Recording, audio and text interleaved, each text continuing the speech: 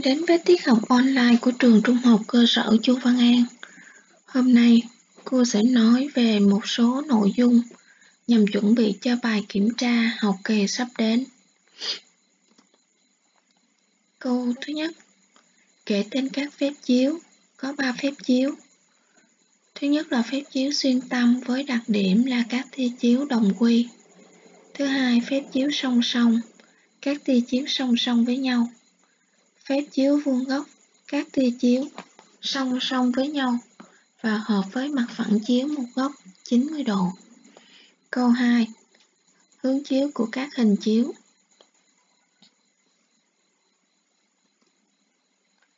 Câu 3. Vị trí các hình chiếu. Câu 4. Khái niệm hình lăng trụ đều.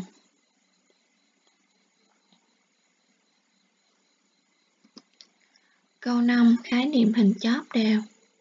Đây là hình chóp đều. Là hình được bao bởi một mặt đáy. Đấy có thể là tam giác đều, tứ giác đều, ngũ giác đều, lục giác đều nên có thể gọi chung là đa giác đều. Các mặt bên là các hình tam giác cân bằng nhau có chung đỉnh. Tính chất cơ bản của vật liệu cơ khí có bốn tính chất tính chất cơ học tính chất vật lý tính chất hóa học và tính chất công nghệ. Đối với tính chất vật lý phần dẫn điện các em cần nhớ. Dẫn điện so sánh về dẫn điện của thép đồng nhôm. À, để biết được vật liệu nào dẫn điện tốt hơn thì các em phải dựa vào điện trở suất điện trở suất là đại lượng đặc trưng cho tính cản trở dòng điện của vật liệu. Vậy thì vật liệu nào có điện trở suất càng nhỏ thì tính dẫn điện sẽ càng tốt. Đồng có điện trở suất là 1,72 nhân 10 mũ trừ 8 ôm nhân mét.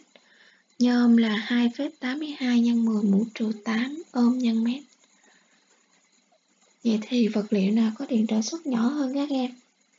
Đó là đồng. Vậy đồng sẽ là dẫn điện tốt nhất. Sau đó đến nhôm và sau đó mới đến thép. Thành phần của kim loại đen. Kim loại đen thành phần chủ yếu là sắt và carbon. Dựa tỷ lệ carbon thì có thép với gan. Thép có tỷ lệ carbon bé hơn hoặc bằng 2,14%, gan có tỷ lệ carbon lớn hơn 2,14%. Phân biệt chi tiết máy. Có hai loại chi tiết máy đó là chi tiết có công dụng chung và chi tiết có công dụng riêng. Ví dụ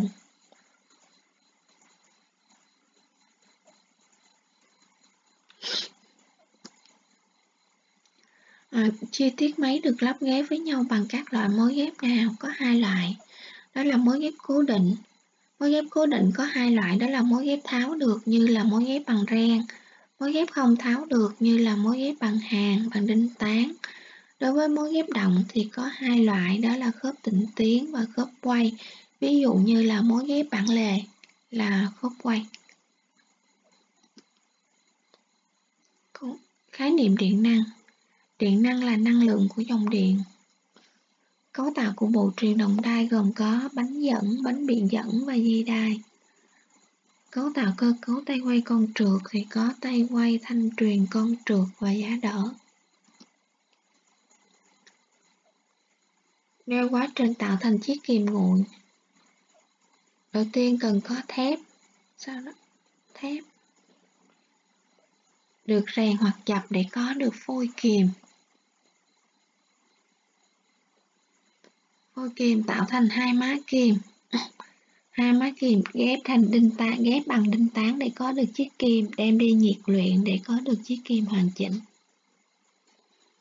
câu tiếp theo, tại sao cần truyền chuyển động vì các bộ phận thường đặt xa nhau, các bộ phận thường có tốc độ quay khác nhau Câu 15. Tại sao cần biến độ chuyển động? Để biến độ chuyển động ban đầu thành các dạng chuyển động khác. À, đây là nội dung của các câu lý thuyết.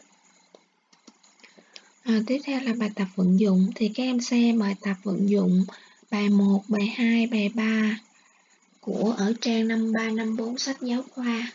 Ở đây cô à, minh họa cho một bài ở trang à, ở trang 53, 54 sách giáo khoa.